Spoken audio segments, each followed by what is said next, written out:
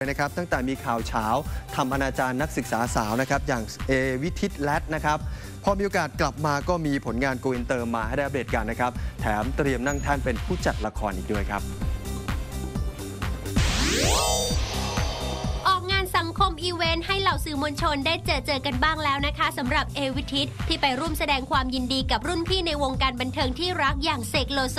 ซึ่งก็ได้ให้สื่อมวลชนได้ถามดาวร้ายที่ช่วงนี้หายหน้าหายตาไป ซึ่งเจ้าตัวก็ปฏิเสธทันทีว่ามีงานตลอดแต่จะเป็นงานต่างประเทศ อย่างล่าสุดก็เพิ่งปิดกล้องไปกับภาพยนตร์จีน และกำลังจะถ่ายทำอีกเรื่อง เรียกว่างานจ่อคิวแน่นกันเลยละค่ะ ยังไม่หมดแค่นั้นเมื่อเจ้าตัวเผยต่ออีกว่าเตรียมจะเป็นผู้จัดอีกด้วย ถ้าข้อตกลงในทุกฝ่ายเรียบร้อยค่ะ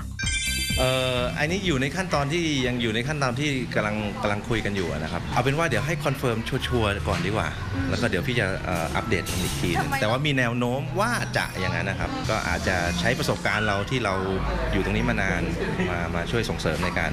ในการผลิตในการทำได้อยู่ทางประเทศจีน ซึ่งเขาเข้ามาถ่ายหนังในบ้านเราค่อนข้างเยอะอยู่